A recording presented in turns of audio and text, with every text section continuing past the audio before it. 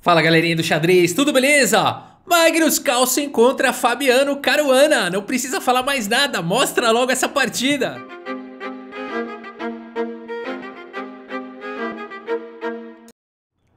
Muito bem, galera. Tata Steel Masters 2023, partida pensada entre esses gigantes, né? A gente lembra do Mundial de 2018 e fica logo animado aqui é, para assistir a partida, né? E eu sei que você tá ansioso aí, mas eu vou dar um recado que é bom para você que quer melhorar no jogo de xadrez. Dá uma olhada aqui na descrição do vídeo, no link aqui, 10 cursos pelo preço de um com o grande mestre André Diamante. 80 videoaulas cobrindo os temas de abertura, estratégia, finais, cálculo, tudo isso para você melhorar o seu jogo de xadrez aí com acesso vitalício, tá bom? Aproveita o material indispensável para você que joga torneios e que também gosta de jogar online, tá bom? Muito bem, galera, Fabiano Caruana tem as peças brancas e abre aqui a partida com E4. Magnus Carlsen responde com E5, o desenvolvimento dos cavalos em F3 e C6 e o Caruana vai para a abertura Rui Lopes, aqui o espanhola com bispo B5. O Carlsen joga com A6 e depois do bispo escapar, o Carlsen segue com cavalo F6, a defesa morfe e aqui Roque foi jogado e bispo E7, o Carlsen não tá afim do peão central não, ele prefere desenvolver peça. Torre 1 foi jogado, B5 força o bispo para B3, Roque coloca o rei em segurança e o Caruana tem vários bons lances aqui nessa posição. C3 é um lance muito jogado. O Caruana já chega com A4 aqui, legal. Vamos ver como o Carlsen joga em relação a isso. Joga com B4 e aqui A5. Então aqui é o seguinte... Eu deixo o meu peão bem longe dos demais, é, é um alvo, mas o teu também é um alvo. Vamos ver como é que segue isso daqui ganha também espaço para o bispo. Vamos ver. O Carlsen segue aqui com D6. Temos aqui C3 já atacando o peão aí do Carlsen. Torre B8 traz a proteção e em muitas linhas vem com a torre para B5. H3 foi jogado e aqui H6 pelo Magnus Carlsen, controlando um pouquinho também aqui os dois lances profiláticos, né? Jogou H3, jogou H6, segue o jogo. Caruana segue com D4, B por C3, temos B por C3 e por D4, cavalo por D4. Essa decisão aqui do Caruana, Rafa, porque ele não tomou de peão, né? Aqui é uma decisão particular do, do Caruana, os computadores realmente colocam é, uma diferença significativa em capturar aqui de cavalo, mas se você deixar pensando mais profundidade ainda, eles falam que dá na mesma, né? Então vamos para estratégias diferentes. Essa aqui foi a estratégia do Fabiano Caruana capturar de cavalo, né? Aqui o Magnus Carlsen seguiu com o bispo D7, protegendo o cavalo de C6 que está atacado. E agora bispo em F4, o Caruana vai desenvolvendo aí as peças. Magnus Carlsen segue com o cavalo em E5, ocupando essa casa. Temos aqui o cavalo em A3 desenvolvendo, a torre vem para casa de E8. O Caruana joga com o bispo G3, deixa o bispo dele seguro. Peça solta é sempre um problema, né? O Caruana já investe um tempinho aqui, deixa a peça dele segura e ó, se quiser tem até mobilidade do peão no futuro, né? O Magnus Carlsen segue aqui na partida com o bispo em F8 e o Caruana solta mesmo, soltou o braço aí, mandou F4, o cavalo volta para C6, E5. Caruana parece que tá vindo para cima. Olha o que, que o Magnus Carlsen vai aprontar aqui agora. Primeiro, D por E5, F por E5. Aqui, primeiro, cavalo por D4, capturando uma peça, atacando aqui o bispo. Aqui, C por D4 forçado. E o Magnus Carlsen faz o seu primeiro lance brilhante aqui da partida. Rafa, como assim lance brilhante? O cavalo tá atacado, tem que tirar o cavalo daí correndo. Joga o cavalo lá em H7, sei lá. Cuidado, tá vindo dama D3 e bispo C2, ataques maravilhosos aqui do Caruana. Mas o Magnus Carlsen não vai nunca jogar de uma maneira passiva se ele puder encontrar um lance brilhante aqui.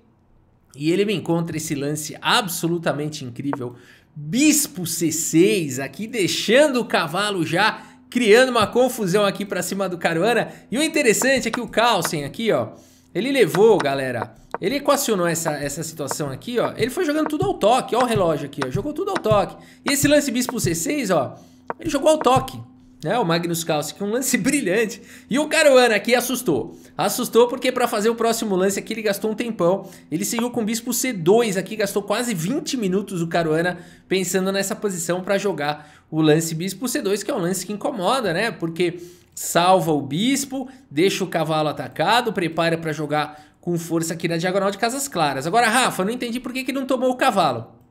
Aqui, se o Caruana tivesse capturado o cavalo, o Magnus Carlsen ia jogar a torre por E1, a dama não pode capturar porque ela está sobrecarregada, teria que seguir com o bispo por E1, mas aí torre por B3 viria de qualquer maneira pelo Magnus Carlsen recuperando peça.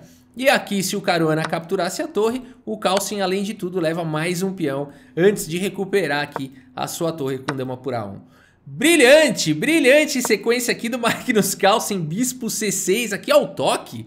Que isso, o cara acho que vai vai vendo os lances, fazendo flash na cabeça dele, não sei o que acontece. A partida seguiu com o bispo C2 aqui pelo Caruana, 20 minutos depois, e o Carlsen joga aqui do lance dama D5 ameaçando agora checkmate. O ataque nas casas claras do Carlsen chegou antes aqui do Caruana.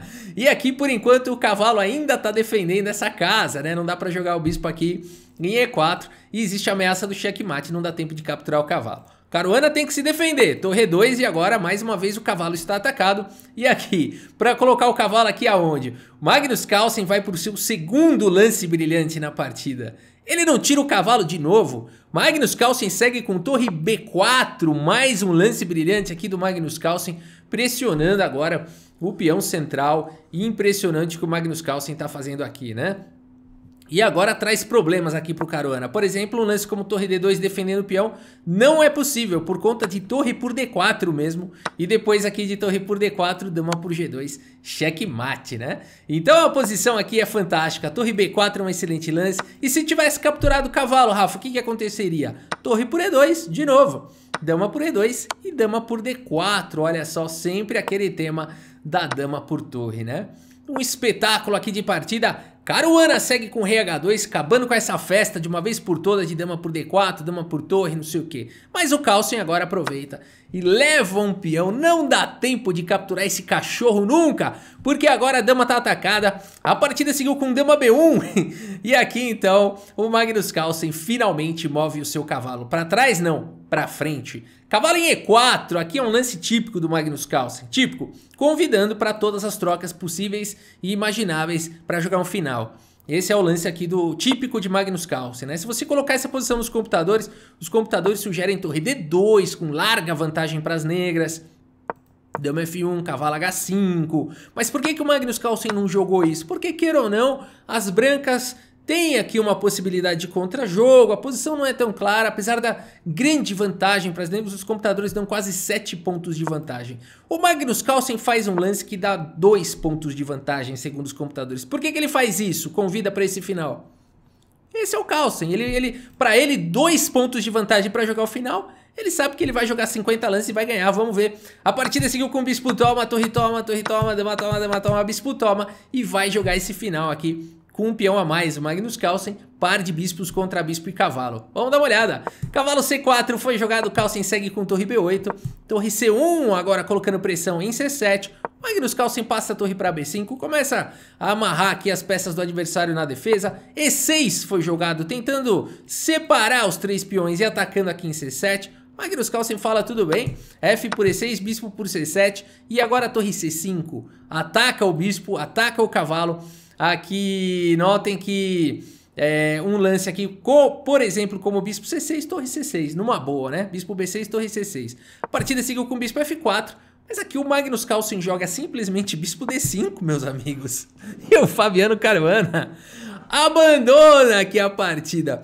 Abandonou porque não dá mais, pessoal. Vai cair mais um peão agora na posição, né? Aqui o cavalo tem que sair daí. É forçado tirar o cavalo. Magnus Carlsen vai trocar um pouquinho mais de peça e vai jogar aqui, ó, simples assim, um bispo B4 e não tem defesa, né? Pode trocar aqui esse bispo, pode fazer o que você quiser, vai cair peão. Magnus Carlsen vai ter dois peões a mais nesse final, né? Que com certeza já é o suficiente aqui para o Magnus Carlsen encaminhar uma posição dessa para uma vitória, né?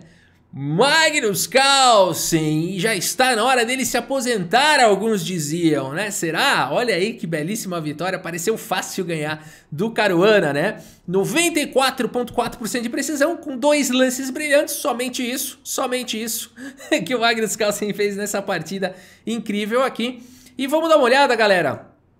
Aqui na classificação, aqui ao final, portanto, de mais uma rodada aqui do Tata Steel. Vamos dar uma olhada aqui na classificação. A gente tem o seguinte, galera, o menino Abdul Satorov com 6 pontos, incrível performance, vem fazendo. Anis Shigiri empatado com Wesley So, do jeito que ele gosta. Os dois aqui com 5 pontos. Aronian, Pragnananda, Caruana, Magnus Carlsen com 4 pontos e meio. Olha o Carlsen subindo de baixo. Ele adora fazer essas coisas, né? Perde umas duas partidas lá, é, empata, não sei o que, e de repente quando você vê, ganha todas e ganha torneio, né? Mas aqui tá dando Abdul Satorov por enquanto.